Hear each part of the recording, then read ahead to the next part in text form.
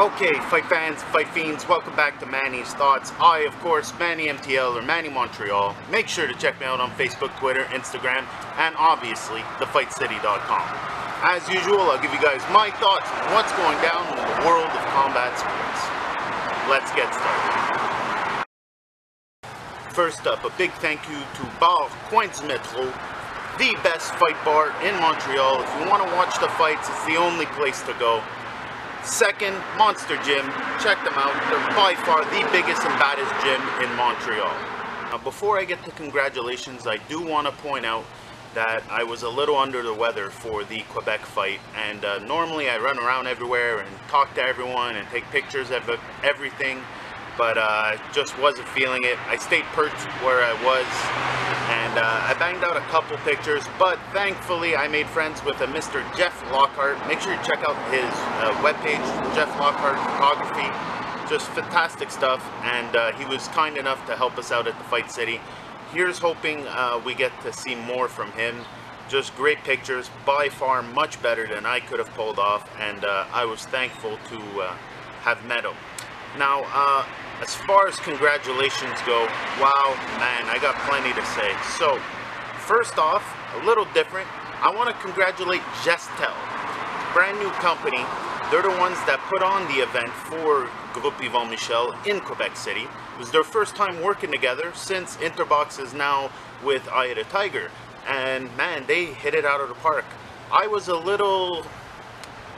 Uh, I was being precautious about going to Quebec because honestly, the last time I went, I just didn't like the ambiance, didn't like the way we were treated. Uh, I didn't find they did a good enough job selling it. And this time around, complete opposite, man. Almost 5,000 people in the place. Uh, they took care of the media right. We weren't thrown up all the way up into the rafters. They gave us different spots, which were perfect. Uh, even the VIP sections were set up beautifully. The ambiance was just off the hook. They did a fantastic job. Bravo, Gestev. Now, as far as the fights go, congratulations goes out to Butch Bouchard, Custio Clayton, uh, Eric Martel, Kaboom Rivas, Eleider Alvarez, who fought a tough opponent. People didn't realize this guy was for real. He may be coming on four days' notice, but he was a for real contender and the fight going the distance proves how tough he was as an opponent. Eleider Alvarez with the shutout nonetheless. Last but not least, obviously the WBC champ, Quebec's one and only champ, Adonis Superman Stevenson with a terrific performance.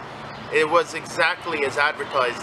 The name on the billboard said shootout in Quebec City and that's exactly what it was man, Williams needs to get props. I know he ended up on the mat at the end of the fight, but he still needs to get props for doing exactly what he said he was going to do. He just bum rushed Adonis, and quite frankly, has hit Adonis more times than anybody else has hit Adonis. Uh, did some terrific work in there. I've got a few pictures of that. Make sure to check out the Facebook page this week. I'll put them up. Uh, honestly, you see Adonis getting tagged. So a couple things were proven here. Number one, Adonis has a chin. Number two, he can take a punch and come back and throw one, which is hell of important. And then thirdly, which honestly I wish was the case much earlier, but it is what it is now, Adonis was actually throwing combinations and going to the body. He had a plan. It was great to see. I was a little worried with him on the scales. He looked a little, I don't know, he didn't look 100% in shape, and I was a little worried because Williams was looking at him like he was dinner. And well, sure enough, the best the best moments Williams had were followed by just about one of the most concussive knockouts I've seen in a while. Beautiful stuff, Adonis Superman Stevenson. Lastly, a couple of statements I want to make here. The Fight City had a picks post for the Frampton Cruz fight, and uh, I decided not to weigh in because honestly I was fed up with being the only guy picking the underdog and, you know, feeling a little stupid the day after every time I put up a pick post. So I decided to uh, take it easy this time around. But, honestly, what a weekend for underdogs. So, the first two things I want to say, Robbie Lawler versus Tyron Woodley. Wow, wow, wow. As this weight division is just You know, it's just tough. It's just tough. I feel bad for Robbie Lawler because on paper, on paper, by all means, he should have won this fight. And but to be honest, like I always say, no, I don't bet on fighting for this exact reason. Underdogs are just a word. And uh, honestly, if you're punching, you've got a shot at actually winning. And Tyron Woodley proved that. Just heavy, heavy right hand and put Lawler on his butt. Just fantastic stuff, quite honestly. Good for him. Here's the interesting thing. Everyone Robbie Lawler defended that title against basically already beat Tyron Woodley. So it throws the whole weight division up in the air. It gives everybody a shot again. Tyron Woodley did the smart thing and called out GSP or Nick Diaz. Genius.